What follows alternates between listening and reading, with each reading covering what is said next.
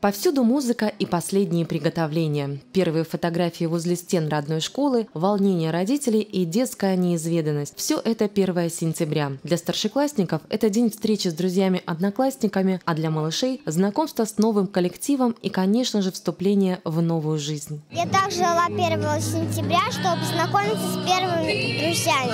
Я уже умею читать, писать и много знаю уже английский.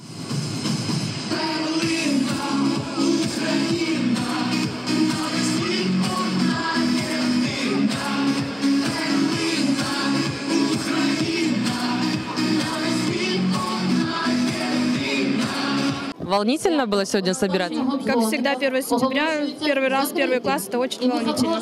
Ребенок хотел идти в школу? Да, она с удовольствием хотела идти в школу. Она считала каждый день, когда я пойду в первый класс, когда будет 1 сентября, она с удовольствием идет. Что самое ожидаемое было? Э, ну, мне кажется, увидеть класс, где она будет находиться, что-то новое узнать, потому что она очень любознательная, она любит что-то новое, ей интересно. Новые друзья, да, но, ну, новые впечатления, новые знания. Мы провожаем мою племянницу э, Ариану Левченко в первый класс. Пришли всей семьей поздравить. Как ребенок вообще в школу с удовольствием шел? А, уверена, что с удовольствием. Ей было очень волнительно, она переживала, но э, с большой радостью, конечно же. 1 сентября у первоклассников начинается новый этап жизни. Впереди яркие впечатления и знакомство с первым учителем, от которого отчасти зависит, как в дальнейшем будет заниматься ваш ребенок. Миссия первого учителя, наверное, одна не из легких. И здесь, пожалуй, без особого таланта не обойтись. Ведь очень важно в первом классе привить любовь и желание к знаниям. Поэтому волнение учителей в этот день вполне оправдано. Что самое главное в работе вот с такими маленькими? Конечно же, любить детей.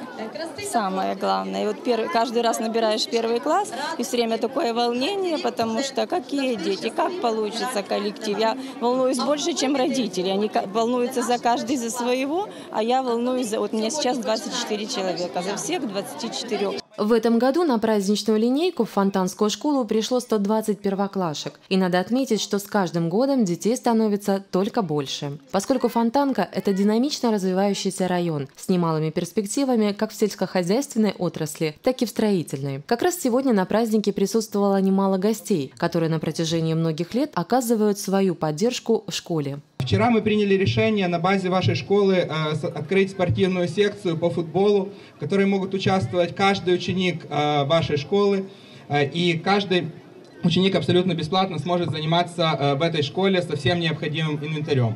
Сегодня мы хотим поблагодарить э, учителя Игоря Леонидовича за оказанную спонсорскую помощь нашей школе. Это подаренная аппаратура для проведения праздников. Сегодня мы уже испытали аппаратуру на прочность. Наш праздник удался, получился, поэтому, конечно, большое спасибо Игорю Леонидовичу. И э, также мы хотим поблагодарить наших спонсоров, э, та, компания Riviera Development, за э, помощь в открытии футбольной школы.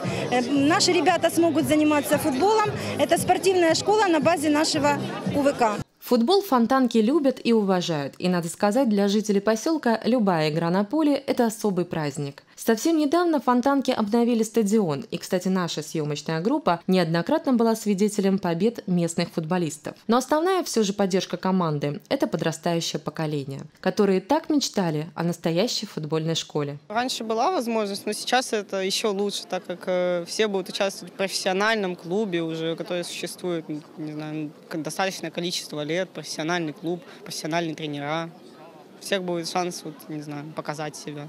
У нас до, э, до этого очень ребят много хотело ходить э, на футбол, но не было такой возможности, поскольку у нас не было таких футбольных секций. А сейчас, поскольку откроется такая школа, появится очень большая возможность для таких людей. Уже в ближайшие дни Виктор Павлик, тренер по футболу, придет в школу, чтобы познакомиться с детьми. И что немаловажно, принимать будут не только мальчиков, но и девочек, так как женский футбол сегодня перспективно развивается во всем мире.